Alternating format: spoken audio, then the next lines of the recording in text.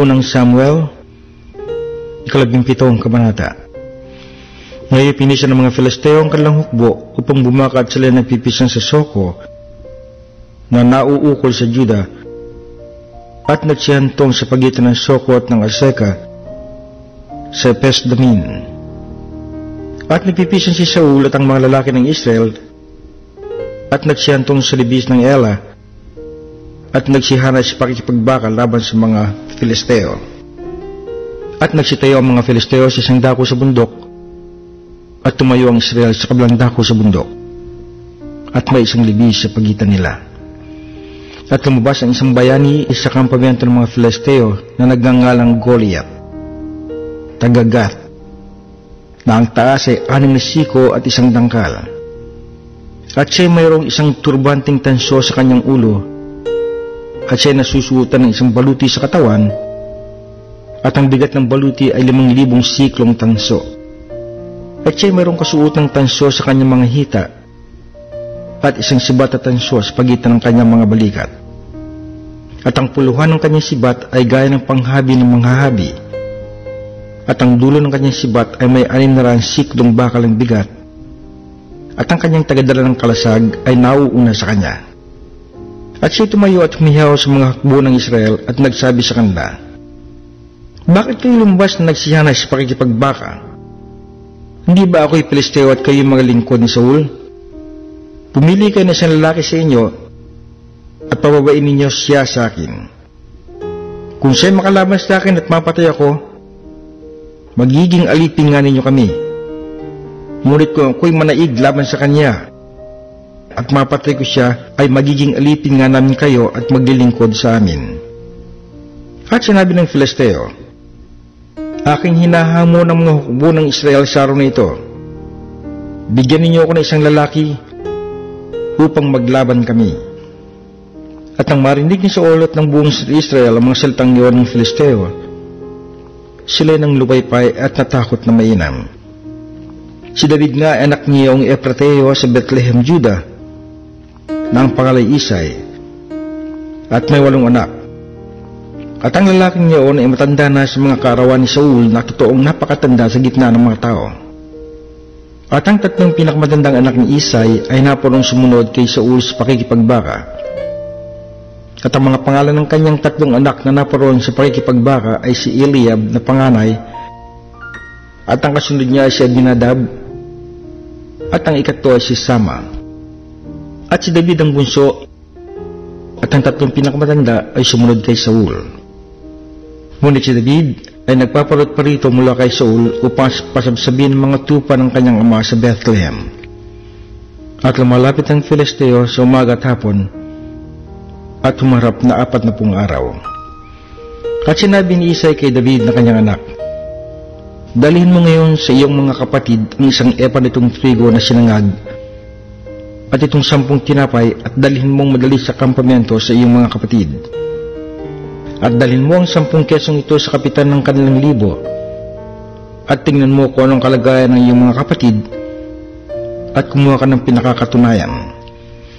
Si Saul nga at sila at ang lahat ng mga lalaki ng Israel ay nasa libis ng Ela na nakikipaglaban sa mga Filisteo. At si David ay bumangong sa kinamagahan at iniwan tupa na may isang taga-pag-alaga at nagdala at yumawon na gaya ng inutos sa kanya ni Isay. At siya naparoon sa kinaroroonan ng mga karo habang ang hukbo na lumalabas sa pakikipaglaban ay sumisigaw ng pakikipagbaka. At ang Israel ng mga Filisteo ay nakahanay na sa pagbabaka, hukbo laban sa hukbo. At iniwan ni David ang kaniyang daladalahan sa kamay ng tagapag-ingat ng daladalahan at tumakbo sa hukbo at naparoon at bumati sa kanyang mga kapatid. At sa kanyang pakikipag-usap sa kanila, narito dumating ang bayani, ang Filisteo na tagagat, na Goliath ang pangalan mula sa hanay ng mga Filisteo, at nagsalita ng ayon sa mga gayunding salita, at narinig ni David. At lahat ng mga lalaki sa Israel, pagkakita sa lalaking niyon, ay tumakas mula sa kanyang harapan at natakot na mainam. At ang mga lalaki ng Israel ay nagsabi, Nakita ba ninyo ang lalaking niya na sumasampa? Tunay na sumasampa siya upang manghamon sa Israel. At mangyayari na ang lalaking makapatay sa kanya ay payayamanin ng hari ng malaking kayamanan at ibibigay sa kanya ang kanyang anak na babae at palalain sa Israel ang sambahayan ng kanyang ama. At nagsalita si David sa mga lalaki na katayo sa siping niya na nagsasabi, Ano ang gagawin sa lalaking makapatay sa Filisteyong ito at mag-alis sa Israel ng kadustaang ito? Sapagat sinong Filisteyong ito na hindi tuli na siya humahamon sa mga hukbo ng buhay na Diyos? At sumagot sa kanya ang bayan ng ganitong paraan na sinabi, Ganito ang gagawin sa lalaki na makapatay sa kanya at narinig ni Eliab na kanyang pinakamatandang kapatid nang siya magsalita sa mga lalaki. At ang galit ni Eliab ay nag-alab laban kay David. At kanyang sinabi, Bakit ka lumusong dito? At kanino mo iniwan ang ilang tupang yawon sa ilang? Talasas ko ang iyong kahambugan at ang kalikutan ng iyong puso. Sapagat ikaw ay lumusong upang iyong makita ang pagbabaka. At sinabi ni David, Anong aking ginawa ngayon? Wala bang dahilan? At tinagdan niya siya na napatungo sa iba at siya nagsalita ng gayon ding paraan. At sinagot siya uli ng bayan na gaya ng una. At nang marinig ang mga salita na sinilita ni David, ay sinaysay nila sa harap ni Saul at siya ay pinasundo niya. At sinabi ni David kay Saul, Huwag mong lupay-pay ang puso ng sinuman dahil sa kanya ang iyong lingkod ay yayaon at makikipaglaban sa Filisteyong ito. At sinabi ni Saul kay David, Hindi ka makaparoon laban sa Filisteyong ito upang makipaglaban sa kanya, sapagat ikaw ay isang bata at siya isang lalaking mandidigma mula sa kanyang pagkabata. At sinabi ni David kay Saul, Ang lingkod ay nag-aalaga ng mga tupa ng kanyang ama, at pagka pumaro ng isang leon o isang oso at kinukuha ang isang kordero sa kawan, ay lumalabas akong hinahabol ko siya at aking sinasaktan at aking inililigtas sa kanyang bibig. At pagka dinadaluhong ako ay aking pinapangahan at aking sinasaktan at aking pinapatay. Pinapatay ng iyong lingkod ang leon at gayon din ang oso at ang Filisteo ito na hindi tuli ay magiging isa sa kanila yamang kanyang hinahamon ng mga hukbo ng Diyos na buhay. At sinabi ni David, Ang Panginoon na nagligtas sa akin sa mga pangamot ng leon at sa pangangamot ng oso ay siyang magliligtas sa akin sa kamay ng Filisteo ito. At sinabi ni Saul kay David, Yumaon ka at ang Panginoon ay isa sa iyo.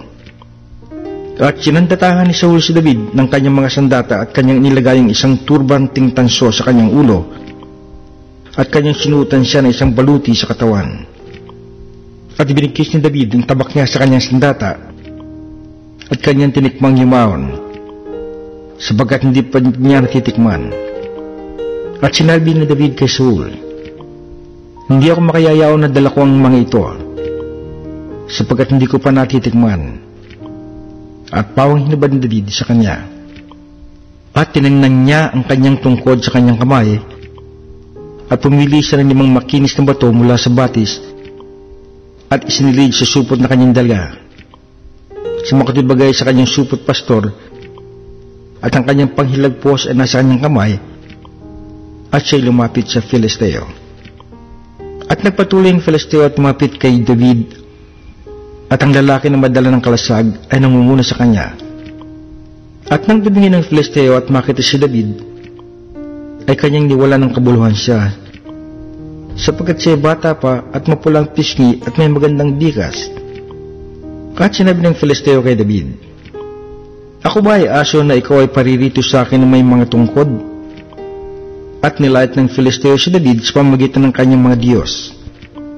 At sinabi ng Filisteo kay David, Halika, at aking ibibigay ang iyong laman sa mga ibon sa himpapawid at sa mga hayop sa parang. Nang magkagayo sinabi ni David sa Filisteo, Ikaw ay naparirito sa akin na may tabak at may malaking sibat at may kalasag. Ngunit ako'y naparirito laban sa iyo sa pangalan ng Panginoon ng mga hukbo ng Diyos ng mga kawalang Israel na iyong hinahamon. Sa araw na ito ay ibibigay ka ng Panginoon sa aking kamay at sasaktan kita at pupugutin ko ang ulo mo. At ibibigay ko ang mga bangkay sa ng mga Filisteo sa mga ibon sa himpapawid sa araw na ito at sa mababangis na hayop sa lupa upang maalaman ng buong lupa na may Diyos sa Israel at upang maalaman ng buong kapisanang ito na hindi nagliligtas ang Panginoon sa pamamagitan ng tabako ng sibat, sapagkat ang pagbabakang ito ay sa Panginoon, at ibibigay niya kayo sa aming kamay. At nangyari nang bumangon ng Filisteo, at sumulong at lumapit upang salubungin si David, na si David ay nagbadali, at tumakbo sa dako ng kawal upang salubungin ng Filisteo. At isinuot ni David ang kanyang kamay sa kanyang supot, at kumuro ng isang bato at inihilagpos at tinamba ng Filisteo sa kanyang noo at ang bato ay bumuon sa kanyang noo at nabuwal na pasubsob sa lupa. Sa gayon na naig si David sa Filisteo sa pamagitan ng isang panghilagpos at ng isang bato at sinakta ng Filisteo at pinatay niya siya. Ngunit walang tabak sa kamay ni David. Nang magkagayoy tumakbo si David at tinunghan ng Filisteo at kinuha ang kanyang tabak at binunot sa kanyang kaluban at pinatay siya at pinagpugot ng kanyang ulo. At ang makita ng mga Filisteo na ang kalang bayan ay ipatay na, sila'y tumakas. At nagsibangon ang mga lalaki ng Israel at ng Juda at humiyaw at hinabol ang mga Filisteo hanggang sa Gath at sa mga pinto ang bayan ng Ekron. At ang mga sugatan sa mga Filisteo ay nabuwal sa daang patungo sa Saraim hanggang sa Gath at sa Ekron. At nagsibalik ang mga anak ni Israel sa paghabol sa mga Filisteo at kanilang sinamsam ang kanilang kampamento. At kinuha ni David ang ulo ng Filisteo at dinala sa Jerusalem. Ngunit kanyang inilagay ang sandata niya sa kanyang tolda. At nang makita ni Saul si David na lumalabas laban sa Filisteo, kanyang sinabi kay Abner na kapitan ng hukbo, Abner, kaninong anak ang batang ito? At sinabi ni Abner, Buhay ang iyong kaluluwa o hari. Hindi ko masabi. At sinabi ng hari, Usisain mo kung kaninong anak ang batang ito. At pagbalik ni David sa pagpatay sa Filisteo, kinuha siya ni Abner at dinala siya sa harap ni Saul na dala ang ulo ng Filisteo sa kanyang kamay. At sinabi ni Saul sa kanya, Kaninong anak ka, binata? At sumagot si David, Ako'y anak ng iyong lingkod na si Isay na Bethlehemita.